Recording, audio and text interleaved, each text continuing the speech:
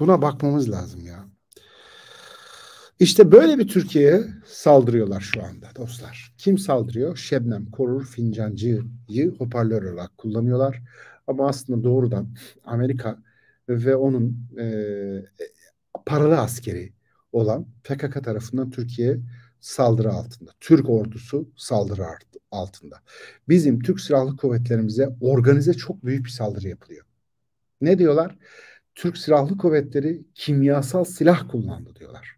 Tamamen bunu yıpratmak için. Bunu söyleyen Türkiye Tabipler Birliği Başkanı Şebnem Korur Fincancı gözaltına alınmıştı. E, ifadesi alındı savcılıkta. Sonra tutuklanma talebiyle mahkemeye sevk edildi. E, bugün itibariyle adliyede şu anda adliyeye sevk edildi. Böyle bir şey söyledi Şebnem Korur Fincancı. Sonra ne oldu? Benim önüme mermi attılar sosyal medyada. Mermi mi? Evet. Niye? Şebnem'in evinden çıkmış. Konuyu bak magazinle yıpratacaklar. Evinden kitap çıkmış. O kitap da Diyanar'da satılan kitap. Boş verin şimdi kitabı mermiyi ne olur. Bu meselenin başka büyük bir boyutu var. Boş verin mermiyi. Bir insanın evinden mermi çıkması suçtur. Kalaşnikov mermisi çıkması suçtur. Ama ne kadar suçtur? Bu kadının işlediği asıl büyük suçu örtmek için yapıyor olabilirler. Bak vallahi boşa düşürmek için yapıyor olabilirler. Bizim medya olarak, vatandaş olarak şurada gözaltına alınan Şebnem Korun Fincancı'nın evinden çıkan mermiler meselesinde bizim bu anlamda topa girmemiz gerçekten onlara hizmet eder yani. Çünkü neden biliyor musunuz? PKK ne diyor bu meseleyle ilgili? Şebnem Korur Fincancı'nın gözaltına alınması ile ilgili. Diyor ki bu Medya TV var PKK'nın yayın organı. Oradan halka ayaklanma çağrısı yaptılar. Ee, PKK kanallarından ayaklanın diyorlar. Dün gece küçük çaplı bir olay da yaşandı. Nerede? İstanbul Kadıköy'de. PKK sempatizanları yine İstanbul'da, yine Kadıköy'de her zamanki gibi. Bu Kadıköy'ü ben hep söylüyorum. Bak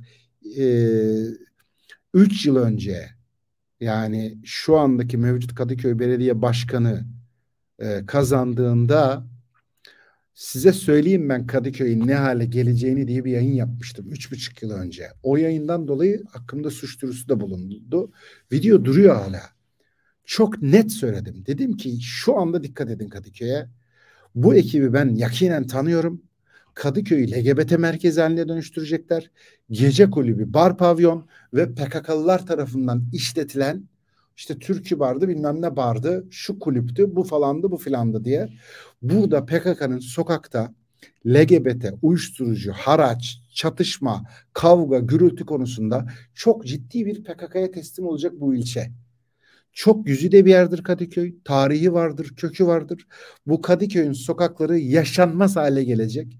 Ve bunu da birkaç yıl içinde halledecekler dediğimde beni dava etmişler, şikayetçi olmuşlardı. Bak bakalım olmuş mu? Üç buçuk yıl geçti aradan. Nasıl? Bun, hatta ben şimdi bir kez daha arttırıyorum bu söylediğimi. Bunlar bir şey değil. Daha neler göreceğiz Kadıköy'de? Hakikaten yazık. Çünkü bir de Kadıköy'de kimliği diye bir kimlik vardır. Hakikaten seçkin İstanbulludur ha. Yani böyle şahane adamlardır yani. Biliyorum ben Kadıköy'ü. Seçkin İstanbul'dur. Çok acayip güzel bir yerdir. Ve orası şu anda PKK tarafından işgal ediliyor. O barlar, pavyonlar, gece kulüpleri, uyuşturucu satıcıları, haraç kesme, bilmem ne, sokaklarda serserilik yaşanmaz bir yer hale getirdiler. LGBT ile birlikte çok büyük bir merkeze dönüşüyor orası. Ve şu andaki mevcut yönetimin tamamen stratejik planıyla yani. Bu şimdi başka bir başlık.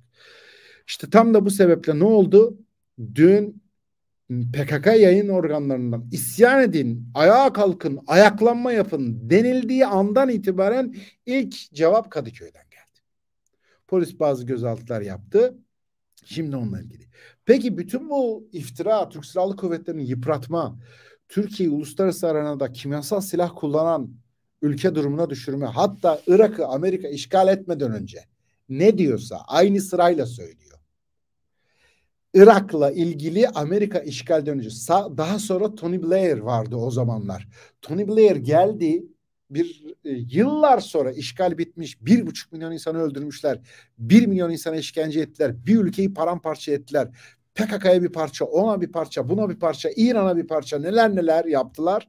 Bu ülke her şeylerini çaldılar götürdüler. Altınlarını, parasını, petrolünü hala çalıyorlar. Ee, sanat eserlerine kadar soydular, paramparça ettikleri Irak'ta sonunda her şey bittikten sonra bu hale geldikten sonra Tony Blair ne dedi? Dedi ki özür dilerim Amerika bizi kandırdı. Söylenen her şey yalandı. Kimyasal silah da yoktu, nükleer silah da yoktu, şu da yoktu, bu da yoktu. Özür diliyorum dedi. Tony Blair özür diledi. Onların hepsi yalandı dedi. Şimdi diyorum ki bak Şebnem Korur Fincancı, PKK ve o PKK çevresindeki medyanın şu anda Türk Silahlı Kuvvetleri'ne bunlar kimyasal silah kullanıyor demesinin sebebi aynı Irak işgalinden bir adım önceki propaganda mekanizmasını çalıştırıyorlar. Niyetlerine Türkiye'yi mi işgal etmek başka bir şey mi? O o artık falcılık olur. Ama görünen o. Aynı yoldalar. Peki bununla ilgili Türkiye'nin ana muhalefet partisi Cumhuriyet Halk Partisi. Türkiye'deki kurucu parti değil mi? En köklü, en eski parti. Türk siyasetinde e, aman ha korumamız lazım dediğimiz aslında Cumhuriyet Halk Partisi'dir yani. Bu öyledir. Ben ha, asla hayatım önce Cumhuriyet Halk Partisi'ne oy vermem. Vermedim elim kırılsın verirsem yani. Bu başka bir şey. Ben hep Cumhuriyet Halk Partisi'ne karşı mücadele edeceğim. Bütün hayatım, siyasi görüşüm, dünya görüşüm ne diyorsa ne zıkkımsa o. Onun hepsi tamamen CHP'nin karşısında durmaktır. Bu başka bir şeydir. Ama CHP yıpratılması, CHP'nin yok edilmesi, CHP'nin kapatılması, CHP'nin bilmem ne olması da karşı duracağım bir şeydir. Olmaz. O benim ülkemin siyasi tarihinin en büyük şeyidir. Ve ne kadar kıymetli bir görevdeler. Ana muhalefet partisindeler. Peki bu konuda ne diyor? Bak TOG'un açılışına gelmiyormuş. Gelmesin. Bir şey değil. Niye vatan haini olsun? TOG'un açılışına gelmeyince CHP. Gelmesin ne olacak sanki? Ben olsam onun yerinde ben de gelmem. Ben bir kızla evlenmek istemişim. Kız benim kabul etmemiş. Sonra da gitmiş başka bir adamla evlenmiş. Sonra da beni düğününe çağırıyor. Gidilir mi yani? Olmaz. Niye gelsin? Siyasi. Onun siyasi rakibine puan yazacak orada. Onun siyasi rakibinin bir başarısı var orada. Ben olsam ben de gelmem. Şeye çağrılmış. Ee, yarın Türkiye Yüzyılı programı var Ankara'da. Oraya çağrıldı CHP. Gitmeyecekmiş. Tabii ki gitmeyecek yani. 11 siyasi parti çağrıldı oraya. Ee, şey hariç, DEVA, Gelecek ve HDP hariç. 11 siyasi parti davet edildi. Elbette CHP gitmeyeceğini açıkladı. Tabii ki gitmeyecek. Ne var bunda yani? Giderse zaten tuhaf bir durum olur. Ne yapıyorsun yani yani? Normal bunlar. Ama bak bu konu başka işte. Şimdi bak onlar siyasetti. Bitir şimdi gel buraya. Bak dur. Türk Silahlı Kuvvetleri'ne iftira ediliyor. Türk ordusuna kimyasal silah kullandı deniliyor ey CHP. Sen ne yapıyorsun bununla ilgili bana ne söylüyorsun? Söyleyelim Özgür Özel. Efendim bu onun şahsi görüşüdür denilemez çünkü grup başkan vekili. Doğrudan CHP adına konuşmaya etkisi olan birkaç insandan biri. Özgür Özel diyor ki Şebnem Korur Fincancı'nın gözaltına alınması ve onun üzerinden TTB'ye yönelik saldırılar demokrasi görüntüsü değildir asla kabul edilemez. Oldu mu şimdi? O işte o yüzden bu organizasyon. O yüzden bu organize bir saldırı. Çok acayip. Şey var, Ceyhan Mumcu var. Ee, Uğur Mumcu'nun kardeşi. Ee, anlattı. Diyor ki Türk Silahlı Kuvvetleri'nin kimyasal silah iftirası üzerine eski bir görüntüsü vardı. O çıktı ortaya. Orada diyor ki Uğur Mumcu'nun suikastinin sanığı olarak tutuklanan teröristlere sahte işkence raporu veren diyor bu kadındı diyor. Uğur Mumcu'nun abi Ceyhan Mumcu'nun geçmişteki konuşmasında diyor ki e, Uğur Mumcu'nun suikastiyle ilgili bu sanık olarak onların yargılanmasında sahte adli tıp raporunu veren diyor Şebnem Korur Fincancı'ydı diyor. Anladın mı? E şimdi bana bütün çark böyle dönüyor. Mermi magazini yapıyorlar. Mermi varmış. Ne varsa var ne yapayım? Yani çok büyük bir şey. Varsa var dedik olur ve işte belli ki kandil hatırası. Tamam mı? Allah bilir. O mermide orada aa, boş kovan var bir tane. Daha görür görmez aklıma gelen şey. Allah bilir bundan hangi Mehmetçiğimiz şehit oldu. Bilemem ki şimdi yani anladın mı? Büyük mesele. Allah onu saklayabiliyor. Allah bilir o mermide hangi Mehmetçiğim benim şehit. Allah bilir hangi Mehmetçiğime, hangi polisime, hangi askerime saplanan bir merminin kovanı o. Bir sürü şey geliyor insanın aklına. Büyük bir şey. Ama bu suç değil işte abi. Bundan para cezası alırsın. Evinde Kalaşnikov mermisi bulundurmakla ilgili. Nereye çekmeye çalıştıklarını anladınız mı? Sorun niye? Çünkü bak Türkiye'de şu anda PKK giderse DH gelir PKK'yı mumla ararsınız propagandası yürütülüyor. Bunu görmemiz lazım. Niye? Çünkü bütün dünyada da PKK'yı öyle var ediyorlar. Diyorlar ki PKK DAEŞ'e karşı bütün dünyayı koruyan sekülerist kahraman gerilla. PKK giderse ne olur? Bir dünyanın başına DAEŞ bela olurmuş. O yüzden Türkiye PKK ile mücadele ediyormuş ki DAEŞ'e alan açılsın diye. Bunu Türkiye'de beyaz Türkler de yapıyor bu propagandayı şu anda.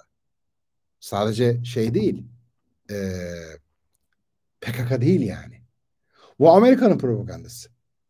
Senatosunda, Pentagon'una e, ya da işte generaline, komutanına, Beyaz Sarayı'na siz terör örgütü PKK'yı neden destekliyorsunuz sorusuna iki cevap vardır. Onlar PKK değil PYD, onlar PKK değil YPG, onlar PKK değil SDG. Tamam mı? DDG, BBG diye diyor üç harfli isimler koyup duruyorlar ya bunlara bir sürü sürekli. Güya bizi kandıracak. Ha PKK değil o. Kim bu? SDG. Aa ulan biz PKK zannettik ya falan diyeceğiz biz. Geri zekalıyız yani. Tamam bu üç harfle halbuki Anadolu'da da üç harf cin demek yani. İfrit, cin dememek için üç harfli derler. Bir de biz gençliğimizde MIT'e üç harfli derdik. Bizim cami çağıracaklarına gelir otururlardı. Biz üç harfli lan mı falan diyorlardı. Habire peşimize dolaşıyordu mitçiler. Yani benim değil ben daha o zaman 15 yaşında benim peşimde dolaşacak abilerimizin. Ee, sonra o efsaneydi. Üç harfli. Bu da üç harfliymiş. Bu da üç harfliymiş diye. Öyleydi bir zamanlar. Neyse. Bu adamlar propaganda yapıyorlar. Amerika diyor ki niye destekliyorsunuz? İşte onlar PKK değil diyor. Bir. ikinci cümle sizin diyor PKK dediğiniz DAEŞ'e karşı savaşan, DAEŞ'e karşı mücadele eden kahraman gerilla. Amerikan ordusunun bileşeni. Şimdi bunu alıyor Beyaz Türk de yapıyor aynı propaganda işini Türkiye'de. Bu propagandanın arka, arka planı oluşturuluyor. Niye? E geliyor yarın İsveç Başbakanı konuşacak Ankara'da. E gideceğiz birkaç ay sonra Türkiye olarak diplomatlarımız oturacak oraya. Sen İsveç olarak PKK'yı destekleyeceğim mi desteklemeyeceğim mi diye sorulacak. Ya ama siz de kimyasal silah kullanıyor musunuz denecek. E Şebnem Korur Fincancı'nın söylüyor. Ali Babacan diyor ki Şebnem Korur Fincancı'nın söylediğiyle bir şey değişmez diyor. Ama diyor sen onu tutuklarsan bir şey değişir diyor. Nasıl bir şey değişmez? İtibar kaybetmez. Ne demek ne anlatıyorsun? Şebnem Korur Fincancı dediğin kadın Türkovak aşısı için bu aşı değil solüsyon deyince Avrupa dedi ki saymıyorum ben bunu aşıdan dedi. Al sana Şebnem Korur Fincancı'nın sözü geçerli miymiş değil miymiş? Ya zaten o söyletti Avrupa söyletti onu ona işte. O da o yüzden söyledi. Gene aynı şey oluyor. Şebnem Korur Fincancı. Ali Babacan bu. Ali Babacan ha. Bunun söylediğinin bir önemi yok diyor. Nasıl bir önemi yok? Senin diplomatların oturacak oraya e siz de kimyasal silah kullanıyor musunuz demeye başlayacaklar. Anladın mı Türk Silahlı Kuvvetleri nasıl köşeye sıkıştırdıklarını? Şimdi sistem böyle dönüyor işte. Benim açımdan yani kim bu Şebnem Korur Fincancı? Kardeşim bu 15 Temmuz'dan hemen sonra FETÖ'cülerin paneline çıkıp 15 Temmuz'u FETÖ'cülerin yaptığına dair kanıt yok dedi. Bu Şebnem Korur Fincancı budur yani. Ermeni soykırımı vardır diyor yani. Ergenekon davalarında FETÖ'cüler tarafında davaya müdahil olan birinden bahsediyorsunuz. Tuhaf değil mi?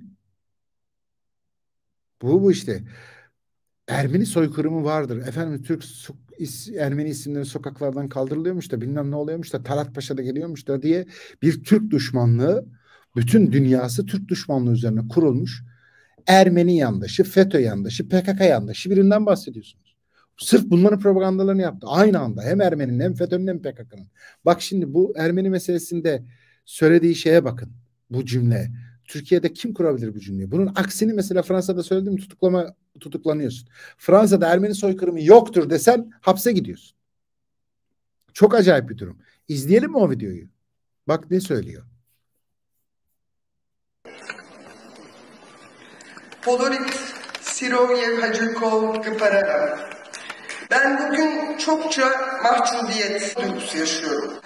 Ermeni soykırımının hala kapı arkalarında konuşulmak zorunda hissedilmesi, bu toprakların halklarının evlerinden, yurtlarından sökülüp atılmasının her yıl bayram gibi kutlanabilir olması ve hatta bir avuç kalmış Ermeni halkının yaşadığı bir mahallede örneğin bir ilkokulun adının Talat Paşa, caddenin Ergenekon, sokağın Türk Beyi olmasının utancıyla yaşamamız. Bu toprakların ezilen tüm halklarının acısını hep birlikte hissetmemiz ve onarmak için elimizden geleni yapmamız gerekirken yapamamış, yetememiş olmanın mahcubiyeti. Ya Şebnem Korur Fincancı bu işte. Böyle çok videosu var. Çok acayip bir durum yani. Sonra ne oluyor? Bir tane Firari Fethullahçı terör örgütü militanı var. Cevheri Güven. Bir de Cumhuriyet Halk Partisi'nin il başkanı var. E, Canan Kaftancıoğlu. O da örgütlere yakınlığıyla meşhur. Hasan Ocaktan'a komutanı falan demesiyle meşhur birisi. Bu ikisi aynı tweet'i atıyor. Getirsene tweetleri. Cevheri Güven, Fethullahçı terör örgütünün militanı. Böcek dışarıda yaşıyor. Tam Türkiye düşmanı, İslam düşmanı, putperestin biri. Diyor ki yandaş medya Şebnem Korur Fincancı'nın evinden çıkan bu mermileri gösterip duruyor ve terör bağlantısı icat etmeye çalışıyor. İşte bak bak. Bırakın mermiyi dediğim bu. Bir tane mermiden terör bağlantısı üzerine inşa edilirse sen meseleyi bu terörle merminin ne alakası var de şey yaparlar. Zaten bu yüzden mermi önde tutuyorlar. Fincancı adli tıp uzmanı derste öğrencilere tahtada e, tahta mermi mi gösterecek? Bunlar onun derste kullandığı materyaller diyor. Getir Canan Kaftancıoğlu'nu. Bak şimdi ne diyor Canan Kaftancıoğlu. Sevgili emniyet mensupları bir adli tıpçının evinde iş yerinde arama yaparsanız eğer ayı haricinde adli olaya karışmışsa o da olabilir. Kemik başkasına ait kıl, tüy, kesici alet ve ateşli silah materyalleriyle karşılaşabilirsiniz. Korkmayın onlar sizin iyiliğiniz içindir diyor. İkisi aynı şeyi söylüyor. Adli tıp uzmanı olduğu için evinde mermi varmış. Ne saçma. İki adli tıp uzmanı adli tıp bir tanesi uzman değil özür dilerim. Adli tıpta çalışıyor. Bir tanesi gerçekten hekim. Adli tıp uzmanı hekim. Ona sordum ben. Dün sordum dün. Hakikaten dedim evinizde mermi. Yok be abi dedi. Ne anlatıyorsun? Dedi. Ne mermisi? Evimde niye mermi olsun? Saçmalık dedi yani. Peki dedim sence var mıdır adli tıp uzmanlarının evinde mermi? Ya abi ne saçmalıyorsunuz dedi. Niye olsun öyle bir şey dedi ya. Ben saçmalamıyorum böyle yazıyorlar dedim. Ya yok ya dedi. Başka bir işte adli tıpçı uz, adli tıpta çalışana da sordum. Sence doktorların evinde var mıdır falan diye. Ne benim evimde ne doktorların evinde öyle mermi falan olmaz. Bunlar boş işler dedi. Yalan dedi ya. Yalan söylüyorlar dedi. Tamam. Gerçekten saçmalık. Yani adam onkolog olsaydı şimdi doktor ne yapacak? Evde kanserli ciğerler mi olacak? Dolayısıyla Canan Kaftancıoğlu'yla bir Fethullahçı terör örgütü militanı terörist aynı zamanda aynı propagandayı yapıyorlar. Bu e, Şebnem Korur Fincancı'nın böyle bir pozisyonu var hayatta. Ergenekon davasında FETÖ'cüler tarafından müdahale oluyor davaya. Ama e, Uğur Mumcu'nun suikastinde sanıkları da adli tıp şey veriyor ki orada da Uğur Mumcu suikastinde de FETÖ parmağı var. Uğur Mumcu suikastinde tanıklara sahte adli tıp raporu hazırlıyor. Ermeni meselesinde Türkiye'de Ermeni soykırımı yapılmıştır diyor. Talat Paşa'ya küfrediyor, Türklere küfrediyor. Ama bir taraftan dönüyor PKK ile organize oluyor. Abdullah Hoca'na özgürlük diyor. Tuhaf değil mi? Çok tehlikeli insanlar. Ve böyle bir durum. Bütün bunlar ne zaman başlıyor? HDP ile İyi Parti'yi Brüksel'de bir araya getiriyorlar. Öyle değil mi? Dün söyledim ya. Şimdi bekleyin dedim ne olacak. Ee, Avrupa Parlamentosu Türkiye raportörü Keti Piri'nin yerine gelen Amor başkanlığında gerçekleşiyor görüşme. İyi Parti Genel Başkanı Akşener kalkıyor tam bu ortamda bütün böyle dönülürken Gezi olayları davasında yargılanan bazı sanıkların ailelerini parti merkezinde ağırlıyor. Ha? Kur şimdi bunların hepsini. Çok ilginç. Peki Amerika bütün bunlarla ilgili ne söylüyor? Hmm, bakacağız diyor. Fransa ne söylüyor biliyor musunuz? Şebnem Korur Fincancı, e, CHP adına açıklama yapan Özgür Özel, CHP'nin il başkanı Canan Kaftancıoğlu. Bunlar kime çalışıyorlar söyleyeyim mi? Fransa diyor ki Mali'de ne işi var diyor Türk ordusunun diyor. O sırada da meclisten şey geçti. Bir yıl uzatma geçti. Türkiye Büyük Millet Meclisi'nin Mali'de görev yapan Türk askeri